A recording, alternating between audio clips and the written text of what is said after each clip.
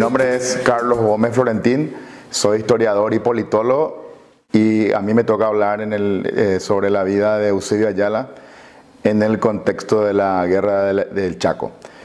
Creo que el personaje de Eusebio Ayala es un personaje que se presta a muchos... Eh, eh, es un personaje que da para conocer un Paraguay transicional Conceptualmente creo que es una figura clave para entender dos cuestiones. En primer lugar, todos los cambios que, que se vinieron con posterioridad a la guerra de la Triple Alianza, el relativo éxito que tuvo el, operativo de reconstrucción del Paraguay, en el sentido de que Eusebio Ayala es una persona que viene del interior, justamente de Barrero Grande, que hoy, hoy se llama Eusebio Ayala, famoso por las chipas hasta hoy en día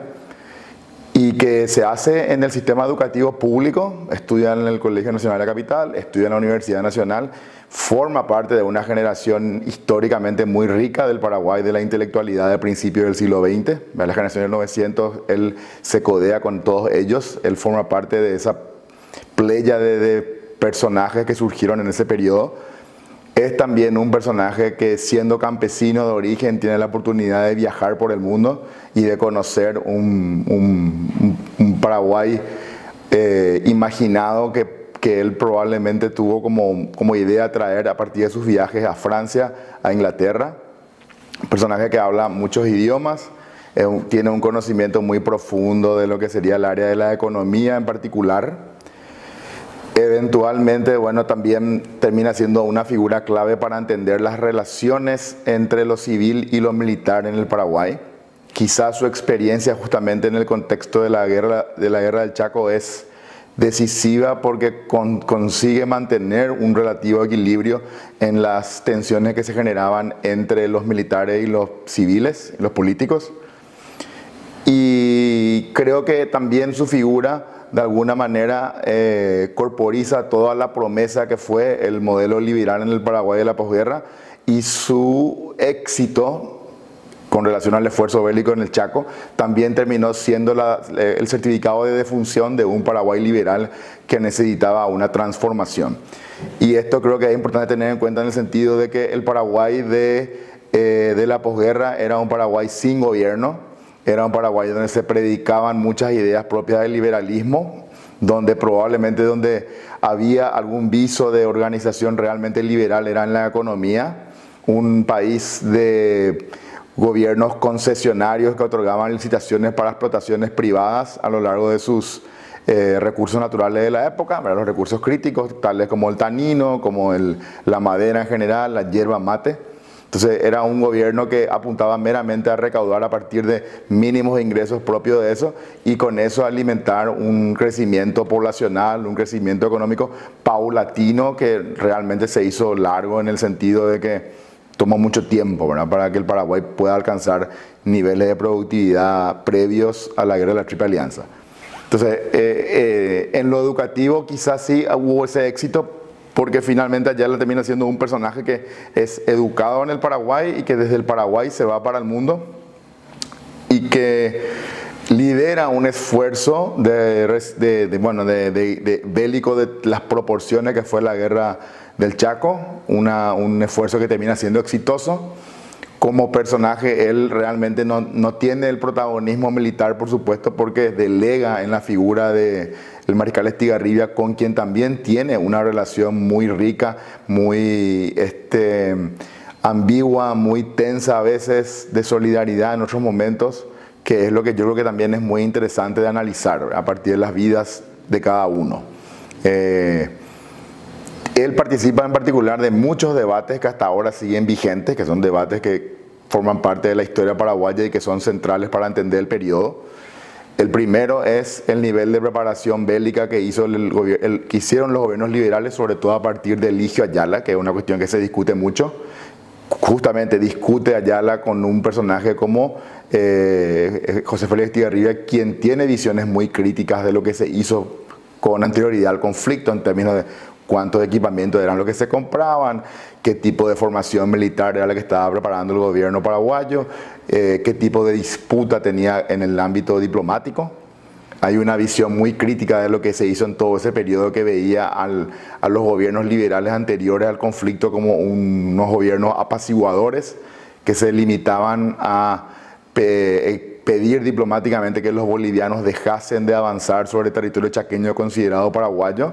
y que en realidad en la visión de los defensores de Ayala es todo lo contrario. O sea, Ayala lo que, lo que sostenía era que el esfuerzo diplomático de eh, pacificación era importante para poder hacer dos cuestiones. Por un lado, dilatar en lo, en lo posible el comienzo de la guerra y por otro lado, eh, ir equipándose de cara a lo que podría ser un conflicto bélico y también dentro de un legítimo esfuerzo por sostener algún tipo de arreglo todavía pacífico. Después también hay que considerar el, esfuerzo diplomático en general de Ayala, porque el Paraguay batalla en diversos frentes, se crean múltiples comisiones diplomáticas que buscan solucionar el conflicto, primero internamente a nivel regional, con el liderazgo de los vecinos, hay que decir que ahí hubo un rol ambiguo, sobre todo del Brasil, que no termina de participar del todo, y eh, con Argentina, que tampoco es capaz de liderar un esfuerzo que pueda parar la guerra. Eh, tras el fracaso de los intentos regionales de solucionar el conflicto, se termina apelando a la Liga de las Naciones, que es un órgano antecesor de lo que es eh, las Naciones Unidas y que tiene un rol importante en el sentido de que pretendía ser como el árbitro de este tipo de disputas a nivel eh, global. Justamente el, conflicto del Chaco es su, gran fracaso y termina comprobando su incapacidad como una organización de poder regular conflictos entre vecinos. O sea, la, lectura después de la Liga de las Naciones es que si ni siquiera pudo arreglar un conflicto tan chiquito como el de Paraguay con Bolivia, dos países que son relativamente pobres y pequeños para la época,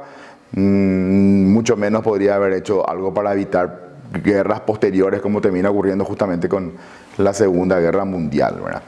También hay que decir que eh, ese esfuerzo termina siendo eh, en parte victorioso para el Paraguay, no solamente en lo bélico, sino también en lo diplomático. Y bueno, como una contradicción, como decía yo, de víctima de su propio suceso, es como que los gobiernos liberales van montando eh, eh, gobiernos eh, que fortalecen la figura del Estado, que fortalecen el nivel de intervención de la política en la economía, en la sociedad, en la vida de las personas y eventualmente fracasa ante el, el crecimiento de nuevas ideas políticas. Es también interesante mirar, cuando uno piensa en el Paraguay de la década del 30, nosotros solemos pensar desde el presente y ver que, como que hoy en día está todo muy integrado, y que todo pasa por, eh, al mismo tiempo en todos lados.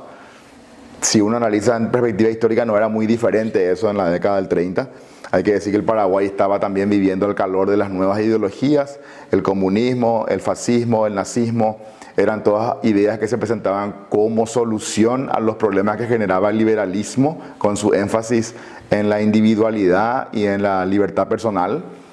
y que dejaban de lado muchas eh, necesidades sociales, la famosa cuestión social de la que hablaba Barrett, los niveles de pobreza, la realidad de los campesinos.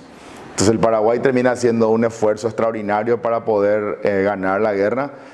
le deja en una situación crítica en términos económicos, no termina siendo la, la promesa que había sido en términos de eh, participar en la defensa del Chaco, defender la, tierra con, la sangre para poder tener eventualmente un pedazo de tierra. Vean los reclamos que después van a ser eh, recogidos en el famoso libro de Carlos Pastores sobre la desigualdad en el acceso a la tierra, siguen después de la guerra, no hay un esfuerzo sistemático por corregir y en ese contexto es que termina eh, siendo derrocado el gobierno de Ayala y termina eh, ascendiendo el coronel Franco y la revolución febrerista con muchas de estas consignas que justamente hacen a la reforma del modelo liberal.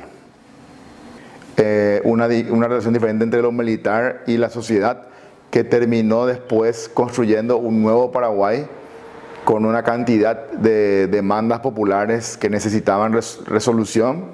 con una, un, un, par de décadas de tensión social, política, económica, porque hay que decir que ahí entramos en un periodo de 20 años del Paraguay eh, de transicional que hasta la consolidación de la dictadura de Stroessner, más o menos del 36 al 54, y lo que se tiene es que todas esas deudas acumuladas del periodo liberal, y digo periodo liberal incluyendo tanto a los colorados del, de la posguerra como a los liberales posteriores a partir de 1904, eh, ese modelo en general que es coincidente, ese modelo liberal que es el que no termina de incluir a los amplios sectores de la sociedad paraguaya, es el que se queda sin respuesta. Y entonces siempre es bueno volver a leer sobre estos temas, eh, entender en qué contexto se produjeron estos problemas y desde eso también ver las urgencias que tenemos desde el presente. Porque yo creo que ahora hablamos de un esfuerzo bélico. El gobierno usó mucho esta analogía, esta metáfora de la guerra al COVID, por ejemplo. Y intenté pensar, bueno, cuando estamos en un contexto bélico, ¿cuáles son los sacrificios que la ciudadanía está dispuesto a aceptar? ¿Qué tipo de oportunidades surgen para que el gobierno pueda ampliar, eh, extender su campo de acción? Y qué tipo de eh, relación se genera con posterioridad a eso entre la sociedad y el Estado, ¿verdad? De qué manera la sociedad puede seguir controlando lo que hace el Estado desde lo público, de qué manera se tiene que transparentar ese tipo de relación y cómo evitar justamente que un empoderamiento excesivo de ciertos sectores del Estado terminen eh, perjudicando los intereses generales.